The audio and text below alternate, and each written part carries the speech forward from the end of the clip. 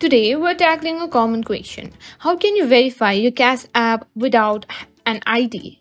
We'll walk you through the steps and provide some alternative solutions. Let's get started.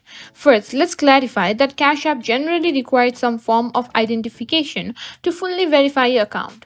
This helps ensure the security of your transactions. However, if you're unable to provide an ID, here are some steps and tips you can try. Open your Cash app and tap on your profile icon in the top right corner. From the profile menu, select Personal. Here you'll see the options to verify your identity. If you don't have an ID, you might see an option for Verify without ID or Alternate Verification. Tap on this to explore the alternatives.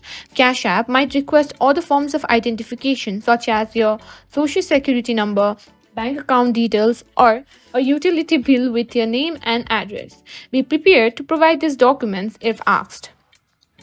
Upload any requested documents by following the on-screen instructions. Make sure the documents are clear and legible. Keep in mind that Cash App's verification process might vary depending on your location and the specific requirements of your account.